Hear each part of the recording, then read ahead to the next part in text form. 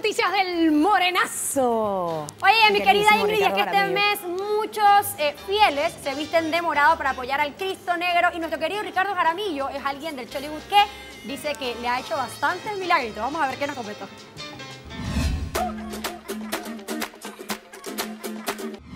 Ahora que estamos con el Nazareno, ¿De, de voto? yo, yo soy devoto del Nazareno, sí. ¿Hace cuántos años? Hace muchos años, de hecho, cuando estaba en TVN siempre me tocó cobertura. Era una ofrenda que le hacía yo al santo, le dije, te voy a trabajar cada año si tú me das esto.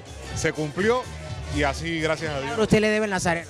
Mira, le debo la estabilidad que tengo en mi casa, en mi familia. Le debo la paz y la tranquilidad que tengo en mi vida. Y le debo, por supuesto, mi trabajo. Lo compro y lo imprimo. Siempre, nunca me ha faltado trabajo.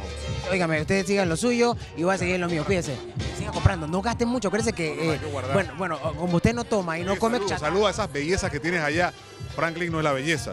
Franklin es... Malo, malo, malo eres, no se daña quien se quiere, no. Pero a mi rockstar que la amo y que la adoro, a Jackie, a Lola, bellas todas.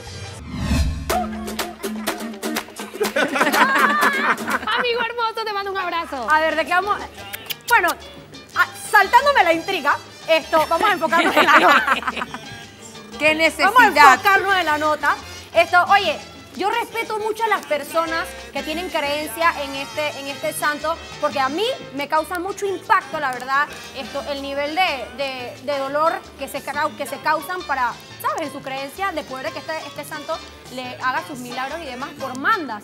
Hay personas que caminan días, semanas para poder llegar a esto. unos Yo en realidad van me he prometido que quiero ir, porque yo quiero vivir esta experiencia. No sé si ustedes han tenido la oportunidad de ir, Yo sí pero fui. dicen que es bien, bien Yo, yo fui dos años y yo que yo que me siento como que el duro de corazón, yo quedaba en choque en ver a personas que por fe prometen, porque ojo, Sí. las personas prometen y al cumplirse les toca realmente realizarlo. La manda, ma- la manda. Tienen que pagar su Y manda. cuando veo a estos manes cortados, sangrando, y yo dije, ah, yo voy a decirle Sí. al man que yo voy a llegar para acá, yo voy a hacer una, una fiesta. Pongo, uno, uno, uno le promete lo que uno quiera. Claro. Ricardo Jaramillo se lo escucha y dice, le prometí trabajarle. Él trabaja como periodista cubriendo las festividades de Cristo Negro. Claro. Este es uno de los, de verdad, él, no solamente es, es querido por los panameños, viene gente de todas partes del mundo Así a es. venerarlo, a visitarlo en Bueno, y estas varios fechas. salseros, estaba- Claro, hay gente que le, sí, exacto, hay salseros que le, que le tienen, que le han dedicado canciones y hay gente que, como tú dices, de repente no se, no se autoflagela, pero sí hay gente que dice, bueno, yo voy a, qué sé yo, a donar 500 comidas para todas las personas que, que van en su Mónica, peregrinación hacia allá, también, o sea, cada quien... también todo depende también del nivel del milagro que tú quieres. Entre Claro. más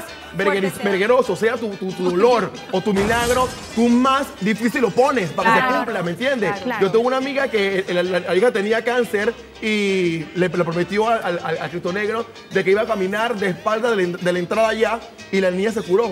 Ella Claro. todos los años camina de espalda de la entrada de, allá. hasta allá. al final, al final la fe es algo muy fuerte. Sí. Yo sí creo en que es cierto que Cristo pagó ya por nuestros pecados y que no es necesario que tú te autoinflijas inflijas dolor. No sé si estoy usando bien la palabra correcta.